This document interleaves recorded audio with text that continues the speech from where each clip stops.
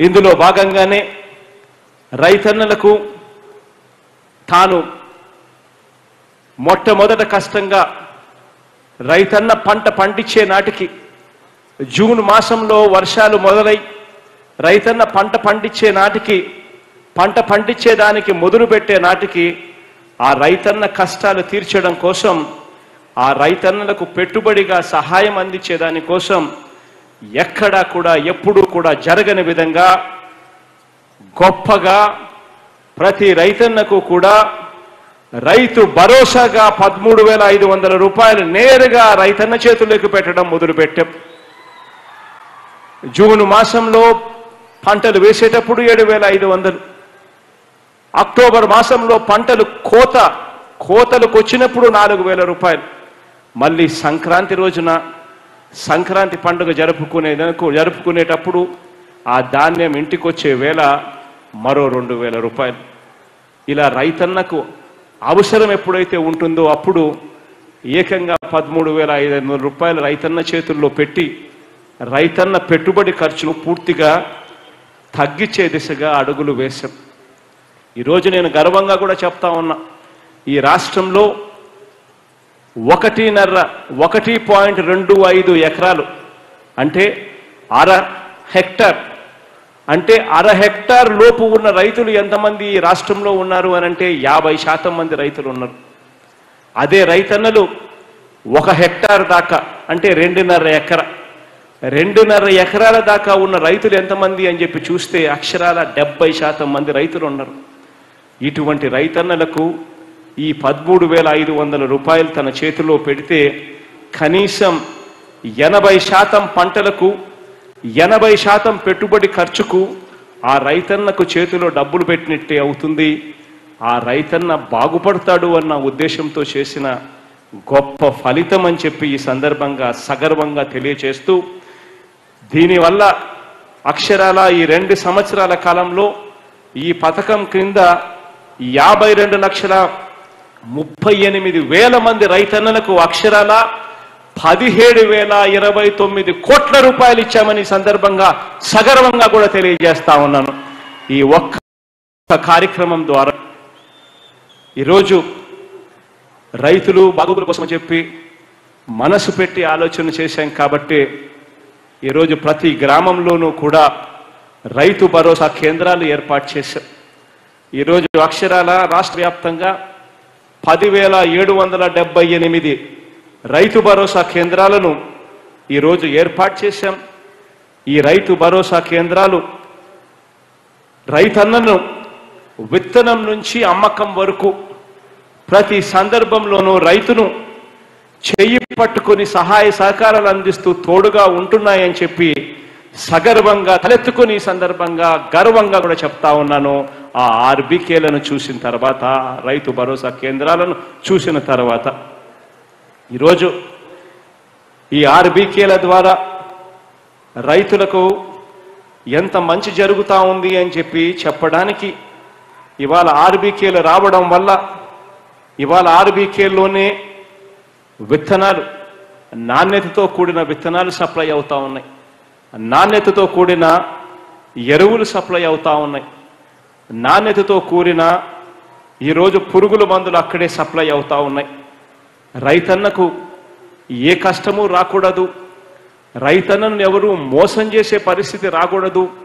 రైతన్నకు ఏది కూడా నకిలీ విత్తనాలు నకిలీ ఎరువులు నకిలీ పెస్టిసైడ్స్ ఎవరు కూడా రైతన్నలకు సప్లై చేసే పరిస్థితి రానే రాకూడదు అని చెప్పి నేరుగా విత్తనాల దగ్గర నుంచి నాణ్యమైన విత్తనాలు నాణ్యమైన ఎరువులు నాణ్యమైన పురుగుల మందులు ఈరోజు ఆర్బీకేలలో మీ గ్రామంలోనే మీ ఇంటి పక్కనే మీ ఊర్లోనే మీరు బటన్ నొక్కిన వెంటనే నలభై ఎనిమిది గంటల్లోనే మీ దగ్గరికి వచ్చే పరిస్థితిని ఈ రోజు చేస్తా ఉన్నా చేశాము అని చెప్పి కూడా సగర్వంగా ఈ సందర్భంగా తెలియజేస్తా ఉన్నాను ఈరోజు ఇదే జిల్లాలోనే అక్షరాల ఈ సంవత్సరమే రెండు లక్షల ముప్పై వేల క్వింటాళ్ళు.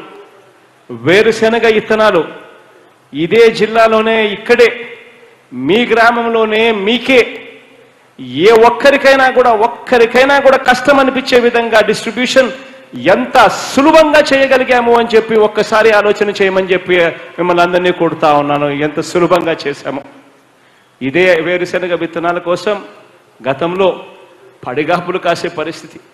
గతంలో మండల కేంద్రాలకు వెళ్ళి రోజులు తరబడి ఉండాల్సిన పరిస్థితి నుంచి పూర్తిగా మార్చేసి మీ గ్రామం దగ్గర క్వాలిటీతో కూడిన విత్తనాలు మీ దగ్గరికే సబ్సిడీ విత్తనాలు వస్తూ ఉన్నాయనంటే ఆర్బికేలను చూసి గర్వపడకుండా ఎలా ఉండగలమని చెప్పి చెప్పగలుగుతా ఉన్నాం.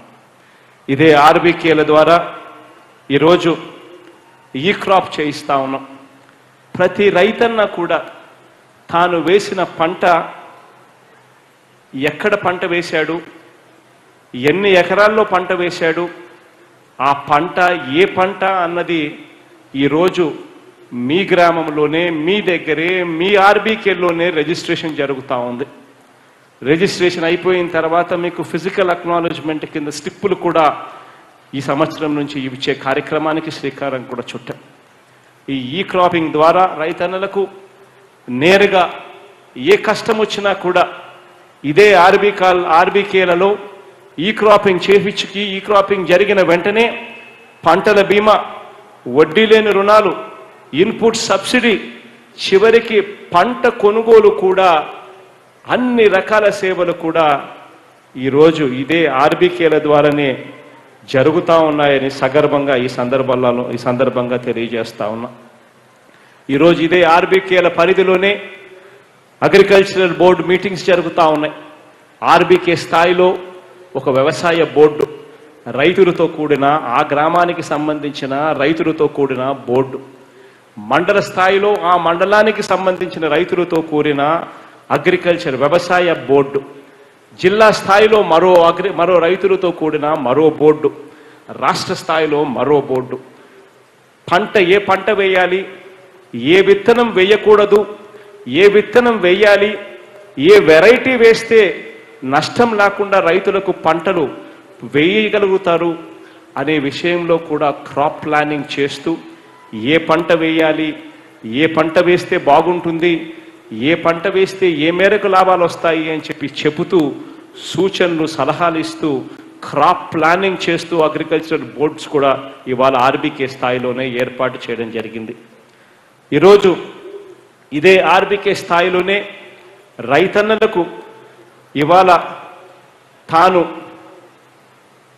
ఆర్బీకేలోనే ఈ పనిముట్లు తాను కొనుక్కోలేని పరిస్థితి ఆ పనిముట్లు అందని పరిస్థితిలో ఉంటే ఆ రైతన్న వ్యవసాయానికి ఇబ్బంది పడతాడేమో అని చెప్పి అక్కడే కమ్యూనిటీ హెల్త్ సెంటర్ అక్కడే క్రియేట్ చేసి కమ్యూనిటీ హై హైరింగ్ సెంటర్ అక్కడే క్రియేట్ చేసి ఆ కమ్యూనిటీ హైరింగ్ సెంటర్లోనే ఏకంగా తక్కువ అద్దెకు ఆ అగ్రికల్చరల్ బోర్డు ఆర్బీకే పరిధిలో ఉన్న ఆర్బీకేలో రైతన్నలు ఎవరైనా కూడా పంట అమ్ముకోలేని పరిస్థితే గన రైతన్నకి ఏదైనా కూడా రైతన్నకి ఏదైనా కూడా సంభవిస్తే ఆ వెంటనే అదే ఆర్బీకేలోకి వెళ్ళి నేను పంట అమ్ముకోలేకపోతున్నాను నాకు కనీస గిట్టుబాటు ధర రావడం లేదు అని చెప్పి చెప్పిన వెంటనే ఆ కనీస గిట్టుబాటు ధరలు ఎంత రేట్లు అని చెప్పి కూడా ఆర్బీకేలో రాసుండయి.